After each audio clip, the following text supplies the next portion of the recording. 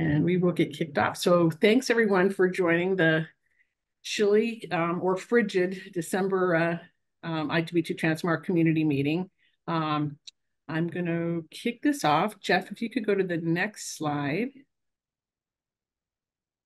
So um, I, I have like a 30 second general update. Um, and the majority of what we're going to do today is um, Jeff Klann and Mike Mendis, um, and others can certainly chime in as well, are going to talk about the work that we've been doing over the past, um, really the past year. I'm, I'm, I'm very excited. We've been really, really busy getting a lot of new features added to I2B2. Um, and a lot of uh, additional features will be coming out in the spring. And so Jeff um, and Mike will take a, a, deep dive into that. But I'm super, super excited about this. And um, and uh, so let's get it kicked off. So the next slide, Jeff, my only slide, um, is just to talk about upcoming events. So I don't know how many of you are going to be um, coming to AMIA in March. Um, but as you know, most of the I2B2 um, development team, at least the original I2B2 development team, are in Boston. So we're we're all going to be there. So um, if you have, if anybody has ideas of, you know, having a, a session before or after AMIA, or maybe planning a dinner, or having some kind of a, you know, an I2B2 get together, you know, while we're at AMIA, you know, ping me because we'd love to we'd love to see you. We'd love to like figure out how we can um, we can continue to to talk and communicate. So keep that in mind. Um, and then the big the big uh, um, billboard item is that our um, symposium this year is going to be in June. Last couple of years we've been doing it in September, um, which is September is great as well, but it, it bumps up against a lot of other um, conferences um, and a lot of travel for folks. So we're going back to our original June time, and it's going to be the 24th and 25th. That's a Monday and a Tuesday.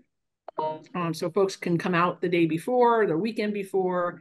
Um, I always tell people June is a great time. September is a great time in Boston too, but June is a super great time in Boston.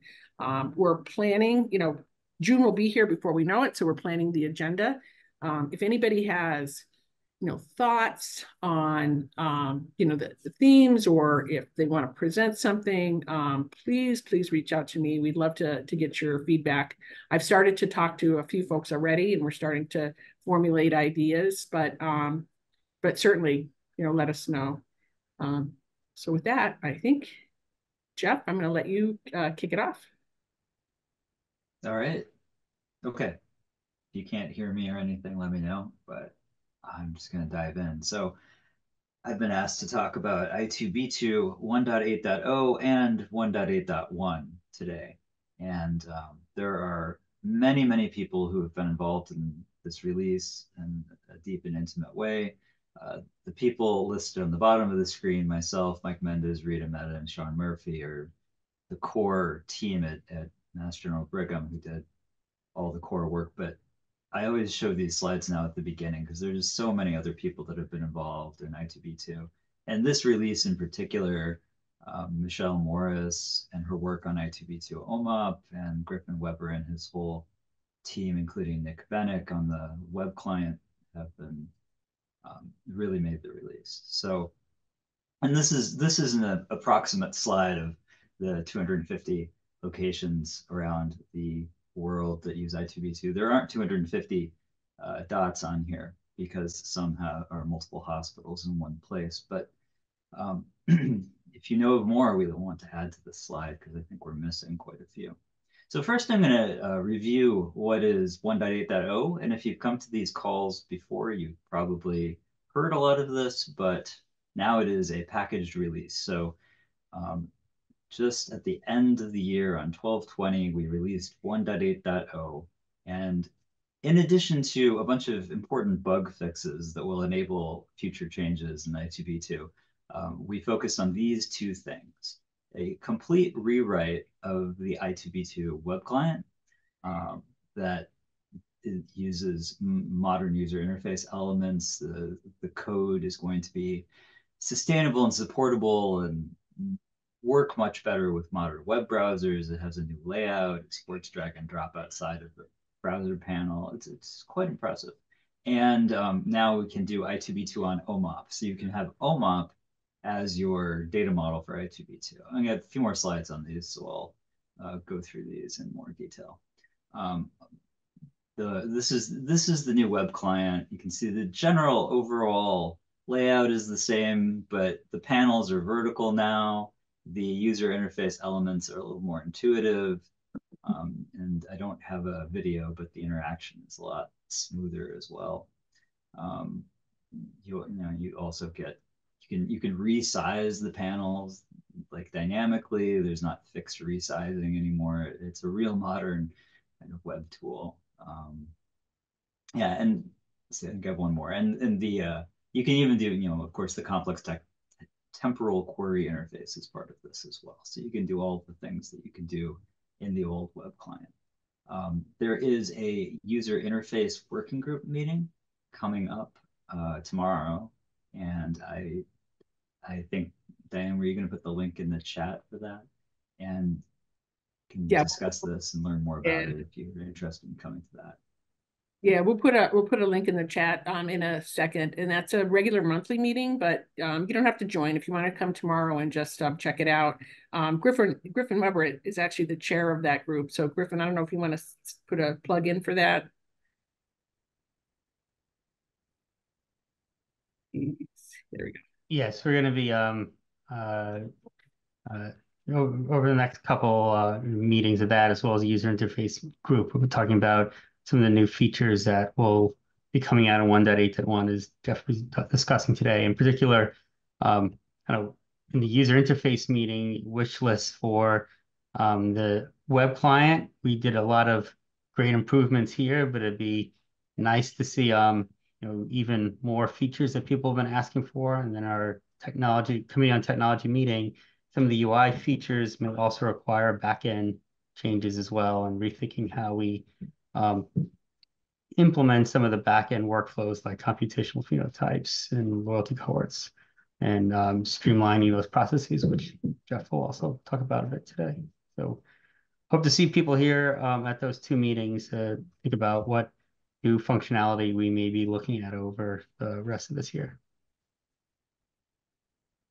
And Griffin, while you have your camera on, you, I believe, have implemented this new web client at Beth Israel Do you want to say anything about that? Yeah, so uh, the I installed the 1.8 as well as the some of the updates from the new um, Act ontology. Uh, I have both old and new web clients together during sort of a transition period. Um, the 1.8.1 web client is finishing up a few things that are not part of 1.8. So um, while that is in the works, I have both kind of the legacy web client as well as the preview of the 1.8 for users to select from. Uh, it may keep the old web client available for users for a while. People are kind of used to that who've been using it for a, a long time. And um, uh, it may be a little bit of a transition onto the, the new interface.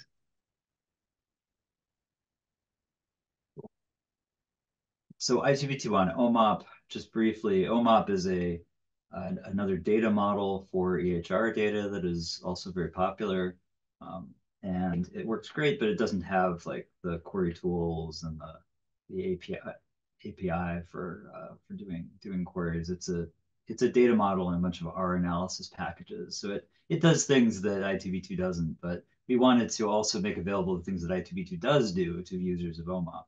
So um, the, the I2B2 has like five or six core tables. OMOP has, I don't know, I can't count on the fly, but like 15 or so core core data tables that store data. But thanks to some work that was done primarily by Lori Phillips in 2018, you can now uh, talk to different fact tables based on elements in your ontology. So uh, Michelle developed a version of the ACT ontology that touches specific OMOP tables as you query different elements. And this is uh, done through these, these tiny little views that make each of the OMOP fact tables, like procedures and drugs and conditions, look like an I2B2 fact table. Um, and it, it works quite well. We did a lot of speed optimization to indexing and tricks like that. But the, the speed is really quite comparable now to uh, querying on a traditional I2B2 table. Um, the secret sauce in the ontology is there are these hidden nodes at the bottom that have OMOP codes. The standard OMOP code, there's also a non-standard OMOP code. That way it can, it can touch, it, it's queryable in all of the ACT terminologies, but it can touch um, like SNOMED codes that are sitting in your, in your OMOP data. Uh, so it works rather well. And here is just a complicated query that was running for a while. I think it's a, a 3 million patient data set, so it was a bit of a slow query. This this slide I think was made before we did the final speed optimization, so I bet it would be even faster now. But in 48 seconds, we ran this uh, complex query on a very large OMOP data set. Um, and we do have the uh, the old the old plugins are still working. You can still do timeline. You can still do export XLS. Uh, say with the caveat that there, we discovered after the release there are, are in some browsers there are some issues with export XLS that will be fixed in 1.8.1. If you need to do that and you're having trouble, then just drop us a line. Make sure you have the latest code. Uh, 1.8.0 release is on i2b2.org slash software and uh, community.i2b2.org. And the links are approximately for the same thing, though. The the there's there's there's more links on the wiki for getting source code and in smaller chunks and things like that. But you can you can go pretty much to either place and download that. Um, currently, the 1.8.0 is not Shrine approved. Um, we are working on that in the new year, and we'll have that. And then very shortly after 1.8.1 is released, we'll have that released too. So 1.8.1, I'm going to move right into that, um, which is is a release that we're going to roll out to all of Enact and a release that we're very excited about that builds on the things we did in 1.8.0 and adds a lot of important new stuff. So the icons on the right will make sense as I go through. Once the bullets on the left are all there, but I made them. I made them you're one at a time, so I could remember to talk through them all. So as Griffin said, the web client team is enhancing the web client. Some things that that I'm excited about that I think are maybe the, the top billing items are improvements in stability, um, improvements in the icons, which um, although the whole user interface is like brand new user interface, it, it some of the icons are still are old uh, YUI icons. So that's going to be that's going to be revamped, and there will be some some new admin tool, which is the one piece of the web client which was not rewritten at this point. Um, we're going to, a big theme of this release is we're going to include a library of tools to make derived facts. So derived facts are just pieces of information that go into a special fact table or other ancillary tables that provide more information based on uh, the data that you have.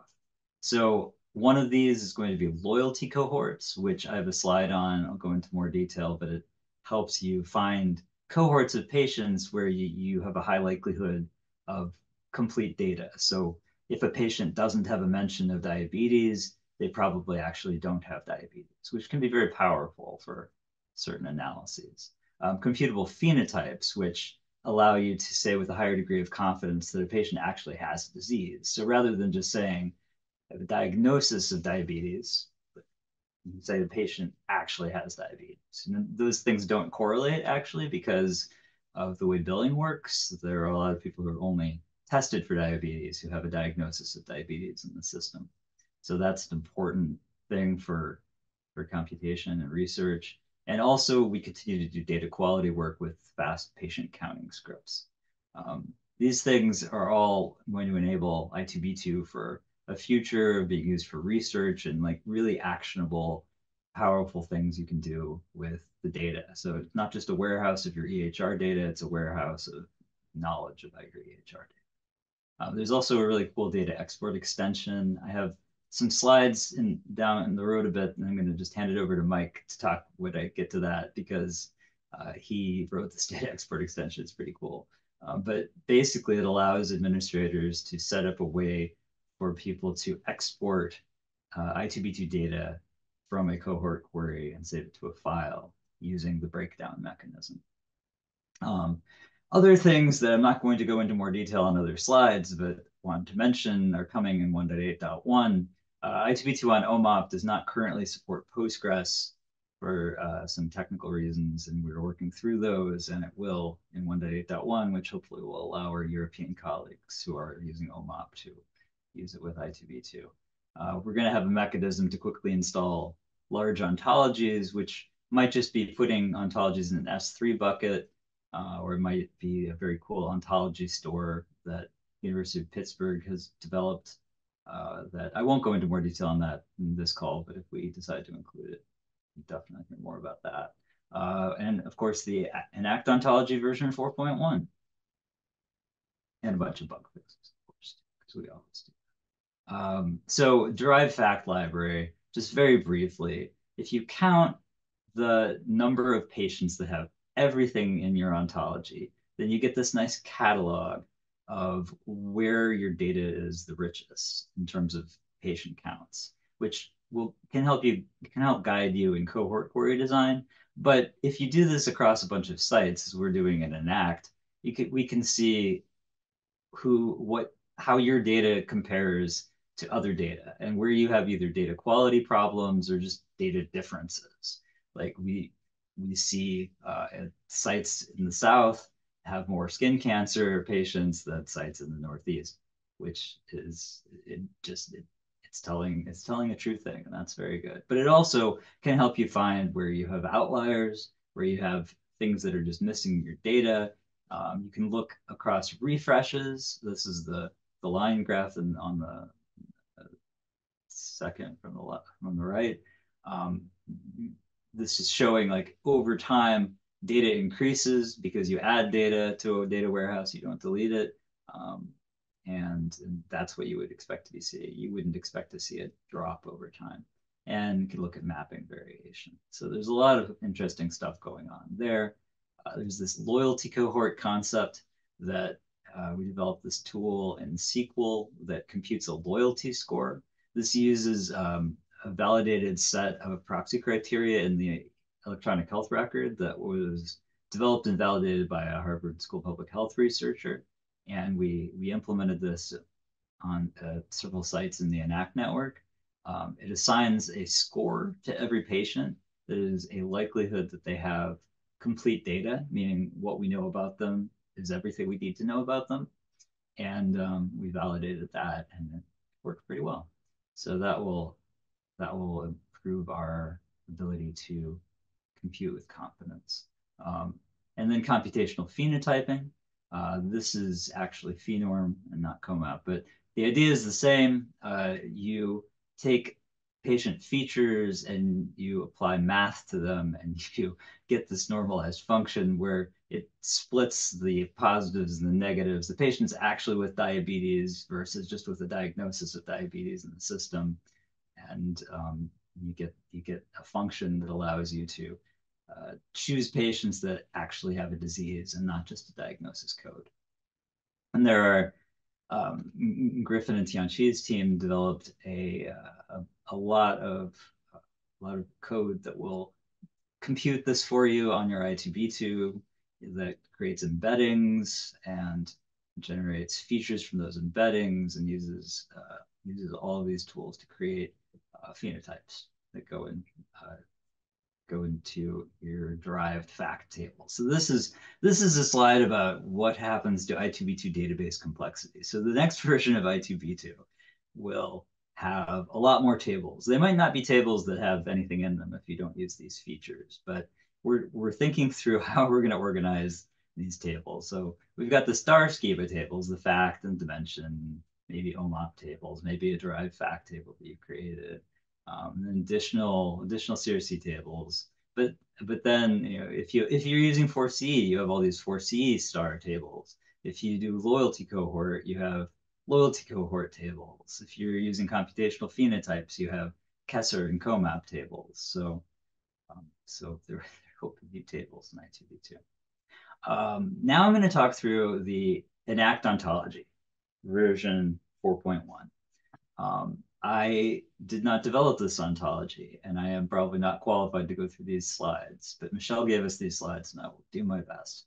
Um, there are 19 ontology tables. Not everything was changed. A lot of them were updated up to 2022 AB, uh, which is you know an important upgrade to have because you have all the new and changed codes. Um, there was other cleanup that happened, and then there's a few brand new things which are exciting. Uh, so unchanged ontologies, things like uh, the lab, the vital signs, the ICD-9, the old ICD-10 and 9 um, or 9 and 10 hierarchy, ICD-9 procedures, these things didn't change, didn't, didn't change, and they, they will not be changing, I believe. Well, I'm not sure. I think lab and vital signs might change, but the, the old ICD 10 and 9, for example, will not be being updated because it relies on mappings that are no longer maintained by UMLS. So those those are just maintained for um, for backwards compatibility. Uh, minor modifications were made to demographics, visit details, social determinants of health, and COVID. And I believe Michelle has some details on that. In demographics, there is a little bit more detail under some of the races and under Hispanic and under sex. Um, then in visit, you can optionally do pre-computed agent visit fields. So they don't compute on the fly, which overall saves computational time. And um, there are also new visit types that are optional, but they add different non-face-to-face encounters, medications and labs. The, the COVID ontology has new uh, lab test codes and ICD-10 PASC code which will be important for research on PASC. And then there were uh, cleanup, various cleanup things that happened as well. The updated ontologies are medications and diagnoses and procedure CPT, procedure HCPCS, procedure ICD-10. Um, major change was HCPCS was added to medications grouped alphabetically, but overall it was an upgrade and uh, some cleanup. The new stuff is research, zip code, and vaccination. So starting with vaccination, there's this uh, vaccination tree using it has CPT4 and NDC as the uh, as the leaf nodes. So you could put your vaccination information into I2B2 in standard way now, and that will eventually be queryable in um, in the Enact network as well. And uh, this is zip code. This is a zip code querying querying on steroids. You can query by zip code or just zip three if that's all you have, or by city and county.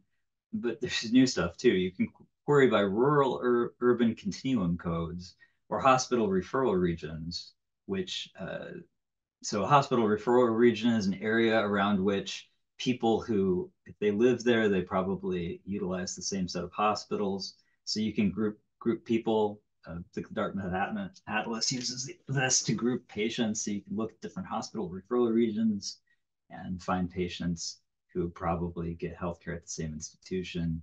Rural urban continuum codes has to do with uh, with, with the uh, the rural and urban continuum. I actually I actually I don't know the details on that, um, but but I could pause and ask Griffin if anyone interested.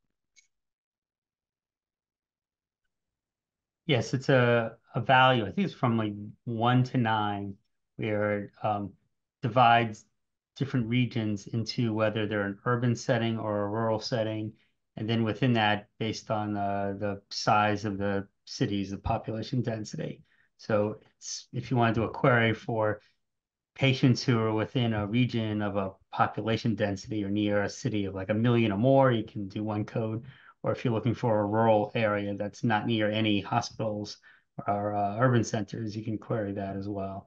And these are just different ways of um, kind of geographically slicing data um, for um, for health disparities research as well as it's related to loyalty cohorts because patients within, um, as Jeff said, like the hospital referral regions um, tend to go to the same healthcare centers. So if you have a patient within your the HRR of your hospital, it's more likely that they are a real patient within your within your organization as opposed to a patient who lives elsewhere and just kind of came to your hospital one time for an emergency room visit, for example. So these are these are just kind of different ways of grouping um, and rolling up zip codes for different kinds of analyses.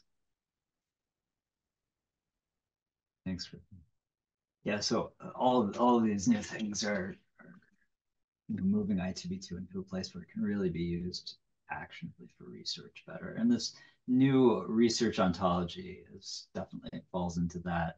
The the research ontology gives you information on the on the right. You can see it, it breaks things down into Charlson comorbidities and Elixhauser comorbidities. So you can look at uh, patient uh, uh, morbidity burden and, and, risk of death. Um, on, the left, you you can query things that are needed for NIH enrollment tables, which is which one needs in order to uh, submit NIH grant applications. And uh, this this just makes it very simple to do that. There's actually an enrollment um, table breakdown that one can use to just generate that enrollment table. And it, it's not in this cool layout, but that it's um, planned work. And uh, let's see what we have here. So you can also look at the number of patients with these. Um, and these are these are based on um, Charlson codes, and so not they're not like computational phenotypes, but they are uh, based on uh, you know a validated way of counting patients. Um, and, and, so you can get, quickly get a count of patients with uh, with all of these different types of conditions. And the same can be done with um, diagnoses there. You can you can also do um, most frequent medications, most frequent diagnoses. So the breakdowns are breakdowns are getting a lot of enhancements. Uh, and again, this is not this is not to the core I2B2 breakdown system, which is a testament to the the code. Just it just builds on what's already there. Um, you can do data completeness queries as well, and you can look for number of patients with at least a diagnosis or at least a lab. Um, or patients with visits uh, at least from a year ago, which also allows you to find enriched cohorts uh, that meet your inclusion criteria more easily. Um, Phe codes are Phe codes are included as well. Phe codes are a kind of a digestion of, of ICD-10 codes that group them together. Um, and there will be many more things added to this ontology in the future. So you can download that here. I think we're going to distribute the slides. And then um, then we we've covered the ACT ontology. Now we need to cover the bulk exporter. There's a lot going on. Um, so Mike, uh, I can read through your slide, but I imagine you probably want to do something. You want to run through the slide, or do you want me to give you the sharing? Because you can do a demo if you want. Um, I mean, you already you want to go through the slides. I mean, I, will do a quick demo afterwards, but okay, all right. You want you want me to go through the slide? Yeah, sure. Okay, all right. So the idea of this bulk exporter is to create flat files, like CSV files that you can download and use in your um, your analytic in your analytic programming, like in your SAS code or your R code. And um, the the export that is done is created by defining a breakdown in the database. But the breakdown specifies a SQL query, and that SQL query gets saved to a CSV file, which allows an administrator to set up different types of data exports that uh, people can then request. And download in their um, in, in, their I2B2 with, of course, appropriate permissions and, and access controls and things like that. Um, yeah, so the uh, it, it's it's fast. It exported 35 million observations four gigabytes of data in 10 minutes. Um, it's all configurable in the Hive cell parameters and the breakdown code, the breakdown tables in the database and the files can be automatically compressed. Uh, I think Mike's working on a way to, you know, automatically email the files too, if that's something an administrator wants to enable. Um, and it all piggybacks on the I2B2 breakdown code. So you run a query and you click, I want to download of all the facts or all the diagnoses or whatever you want. But you click, you just click a breakdown and the file is generated and you can get the file. Um, this gives us the advantage of making it very straightforward for users to use. And also because it fits into the existing I2B2 infrastructure, you get some fault tolerance. So if a, you know, if an export is taking a long time, it goes into the queue and the queue manages whether it's run and it doesn't clog up the uh, I2B2 um, user interface. Uh, this was done by creating a new breakdown class, which extends I2B2 functionality.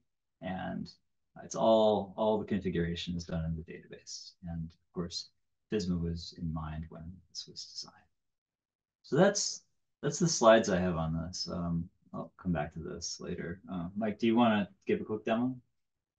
Uh, yeah, sure. Uh, let's see, share. Um, okay. Um, should see my screen. Yep. Cool. Uh, yeah. So actually, Jeff, that the new name that you called it in the, the second or third slide, I like that name. Oh, I always call it, did I call it? whatever you called it. I remember I always called it bulk exporter, which I didn't like. But then it was like you picked it in one of your slides, you had a new name for it, and I like that name. So I think that's what we're gonna stick with. Uh, but yeah, like Jeff said, uh, basically there's a lot on the back end, very little on the kind of the front end.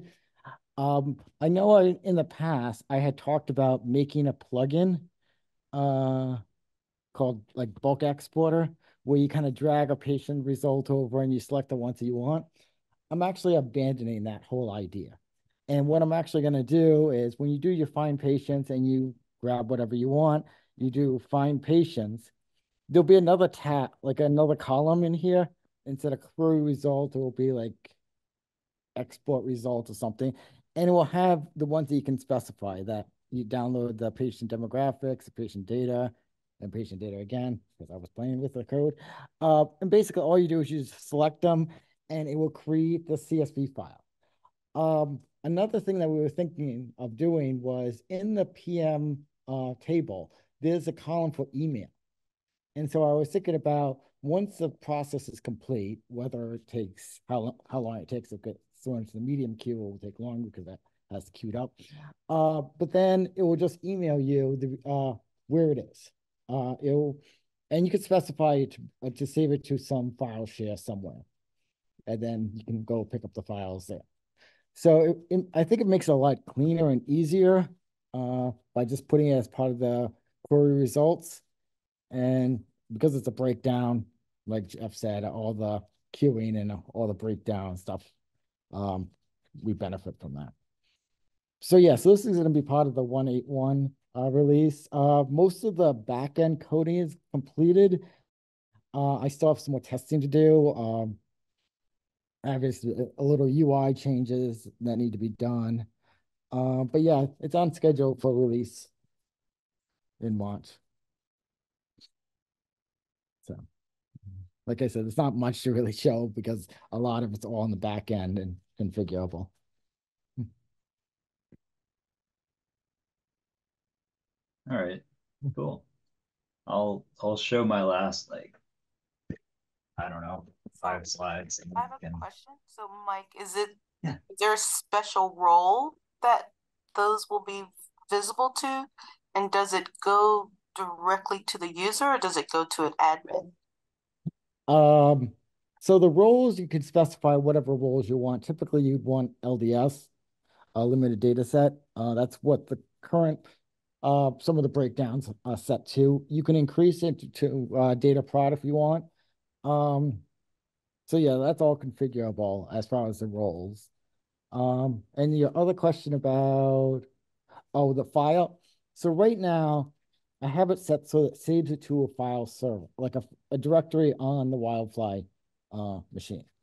So that could be also like your drive E if you want it on your Windows, or uh, you can map a drive to another server and have it saved onto that server. Okay, thank you. But yeah, right now I don't have a way that you can actually click on it and download it directly from the web client. Um, that might be a, a feature we add in the future. It's just but I'm thinking people won't want that really okay for yeah. You know what I mean? Like mm. I don't know, not enough control. Right.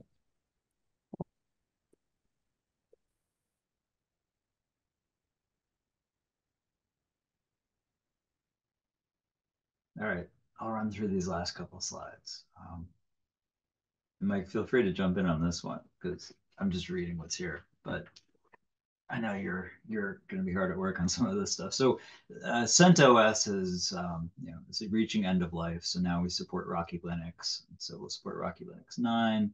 We also realize that we are several versions behind on Wildfly in terms of what we support, and some changes did happen in Wildfly, so it requires a bit of work to allow people to use the newer versions. But it's important to for security reasons to get up to a newer version. So we'll, we're going to move up to 26. Uh, we're going to continue, of course, supporting Java 8, but I think 11, but we will add support for 17, uh, Windows 2022, and we will support newer versions of our three database platforms as well. Um, then post 1.8.1, post 1.8.1, I didn't say 1.8.2. 1.8.2 will probably be the job scheduler, and Snowflake support will have a separate version of that that one will be able to download as with 1.8.1, but it won't be part of the core supported release. So, so the job scheduler we've talked about a lot. We're focusing for 1.8.1 on the derived fact library and making it easy for people to run these things to create the derived facts. Um, in 1.8.2, we'd like to have a mechanism in I2B2 where you can schedule these derived fact scripts to run and you don't have to do anything once you have it set up. Um, Snowflake support is Snowflake is a, uh, a data, cloud database platform. It's very powerful. It offers a lot of um, nice features in terms of uh, actually secure data sharing.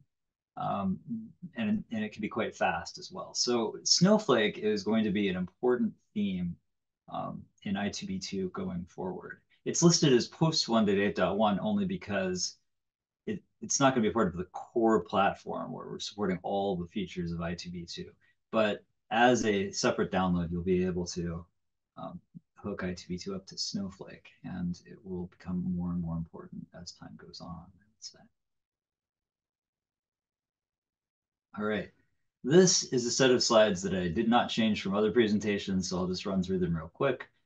So people are aware, I2B2, find everything at community.i2b2.org, www.i2b2.org, especially slash software, um, and then the Google group where you can ask questions. It's called install help, but you can ask any of your questions there.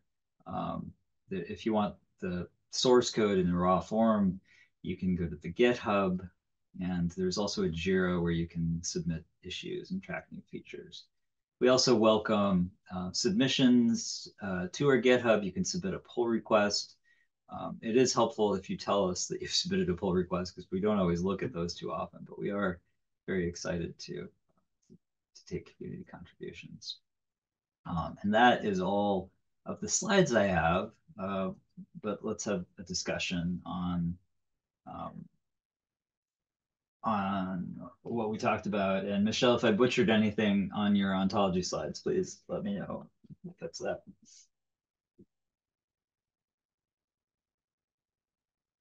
Did better than I would have. It was only made possible by your great slides, though. For a good team.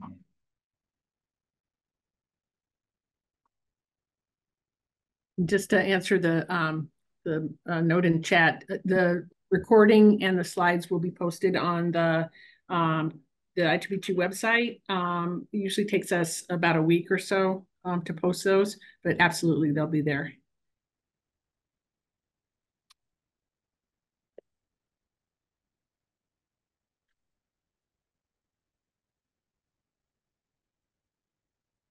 So who has questions?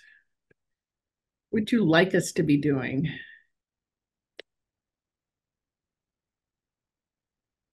Is anybody planning on implementing um, 1.8, the new user interface, anytime soon? Or are you going to wait for 1.8.1? We're actually moving forward with 1.8. This is Gigi from UF. That that's great. Um, you know, I think Griffin at, at BI um, implemented it uh, over the um, the winter break. Um, so you'll be one of the first. So we we definitely want to hear. You know, it's it's a big deal. That user interface is a it was a major major change, and you know we have we have a separate team of people that are, are working on uh, more enhancements to it. But um, if you find any you know any um, issues or or anything, please let us know. We'll probably put it on top I- of our servers.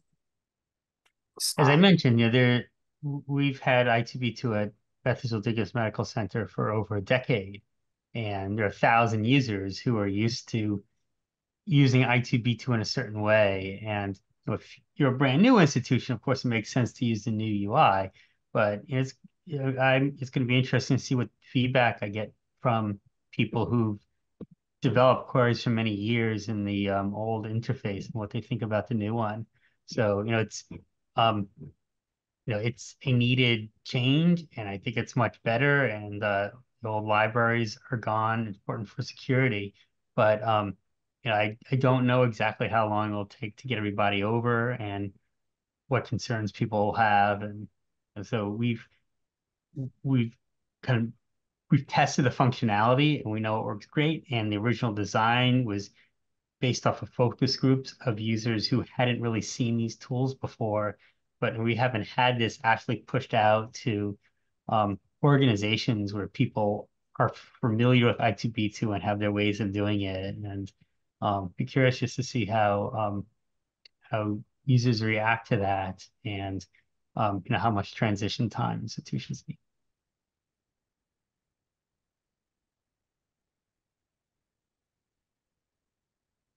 I'm, I think I'm excited about being able to drag outside of the box. Like what, what possibilities that'll open up. And then the, um, you guys didn't talk about it much, but is there a new plugin structure? In one point eight dot one, or is that moved out? It mostly supports legacy plugins is a kind of a, a wrapper that goes around them to support it. Then there's a brand new um, plugin framework that leverages, you can take advantage of kind of modern HTML5. And that's where kind of the cross browser um, drag and drop would be enabled. So for new plugins, you'd use the new framework, but if, if institutions have existing plugins that spend quite a bit of time developing, there's a way to keep those um, running in the new framework. Now, are there um gonna, is there documentation or like a, you know, like a little cookbook in how you develop these new plugins? Yes, um, there's, there's a lot there. I think there's some videos on it. So, you know, Nick Benik put together documentation for that, but um, it's this is a brand new thing. So I'm guessing there's going to be a lot of once people actually start migrating plugins over or developing new ones, there'll be some feedback and that will that will um, evolve over time.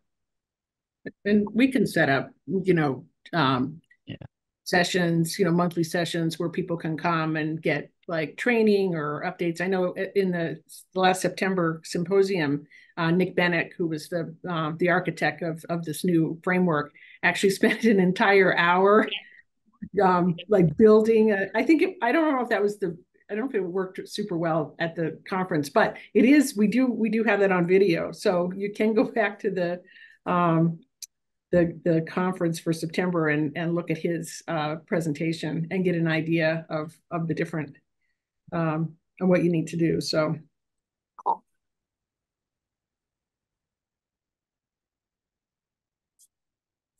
I think that you know when once this rolls out, you know, it, it, I um, Jeff had mentioned that 1.8.1, which obviously includes the new UI, is going to be rolled out to um, all of the ENACT sites, um, which is you know a big chunk, 50 sites or something like that. I mean, Michelle knows the number. Um, Mark Ciriola would know as well. I mean, so we're we're going to start to get a lot of uh, people in the um, in the community, you know, up on this new user interface. So there should be synergy and um, you know among the different uh, the different groups. So I'm excited about that.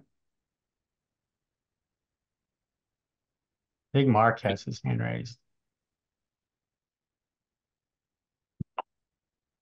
Hi, yeah, this is Mark Abajian from Los Angeles. Um, great presentations. Thank you very much.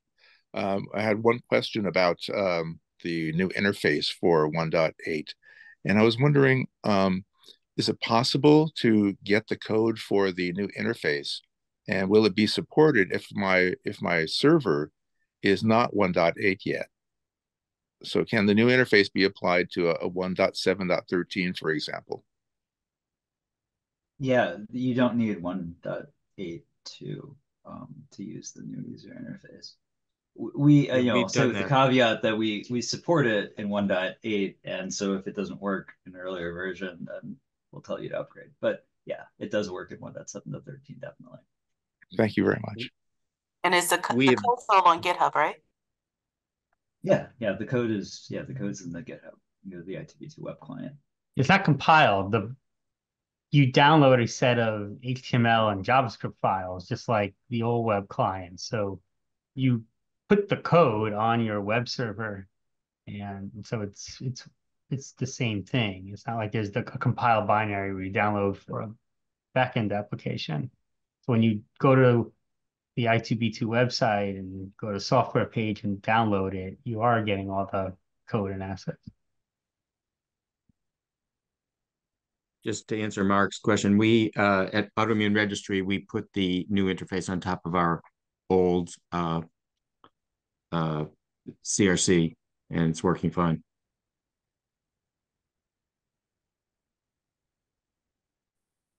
Excellent. That's great.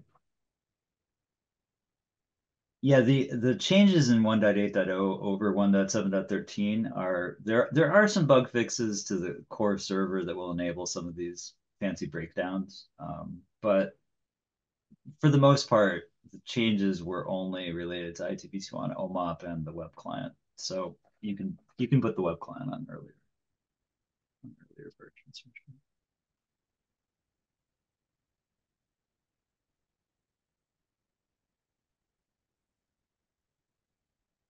Um, I'm also I'm not seeing the plugin development guide on the wiki. I know that it's been written, and I will I will add to my to-do list to get that onto the I2B2 wiki.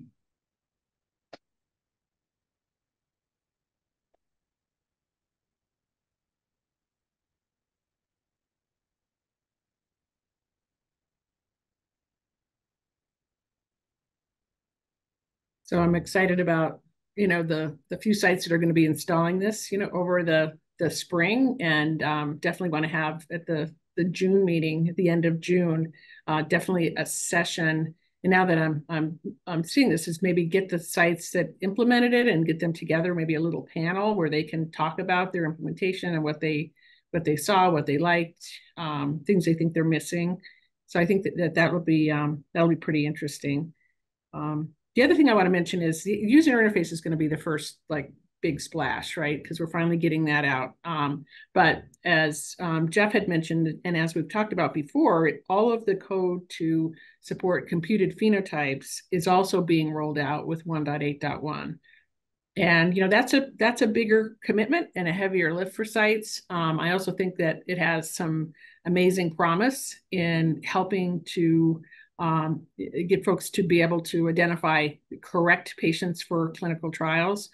Um, so I'm pretty excited about that. So we'll definitely have um, more discussion about that, and you know, hopefully a couple of sites that actually have implemented that um, in June as well, where we can talk about um, you know the the the difference between the two and how it works because um, that's a that's a major thing that that's a major thing that sets sets us apart from all of the other um, networks and groups out there because um, OHDSI can't do that.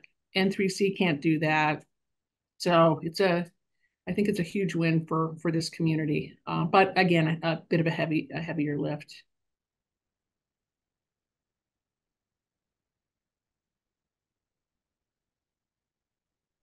Are there other questions or thoughts? Um, anything about the conference in June that comes to mind where you think we need to focus? Um, and speak up now or or ping me later. Definitely want to make sure that we're um, we're uh, doing the right thing at those those conferences.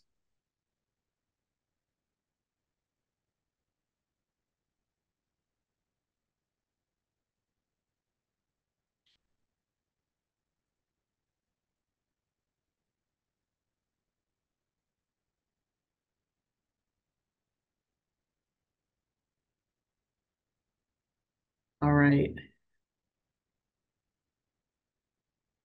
Anything else? Otherwise, we will wrap up for today and I thank everyone for, uh, for joining. Um, again, these co- community meetings are, um, every other month now, so the next meeting will be in, um, in March.